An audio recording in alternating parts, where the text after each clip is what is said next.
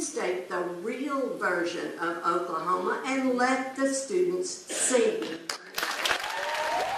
65 people signed up to speak at Sherman Independent School District's board meeting Monday night about the high school's recently delayed production of the musical Oklahoma. Every seat in the boardroom was full and the walls were lined with people standing waiting to voice their opinions. By prioritizing inclusivity in our artistic decisions, we can foster an environment free from bias, ensuring that every student feels seen and valued.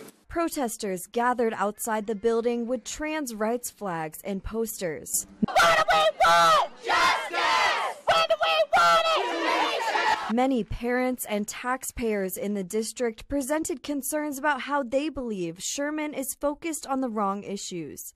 How they treat people that they like and how they treat people that they don't like is way more important than the things that they can't control about themselves. Students from local universities such as Austin College came to show their support for the theater program.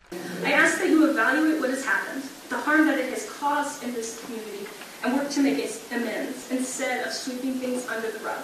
On Friday, Sherman ISD released a statement saying they will recast the musical, and anyone, regardless of gender or how they identify, can try out for any role. Because this is not okay. Public schools are supposed to be for everybody everybody. The new production will be rescheduled after January 15th. In Sherman, Abby Haymond, KTEN News. Thanks for watching. Stay updated about breaking news and top stories on the NBC News app or follow us on social media.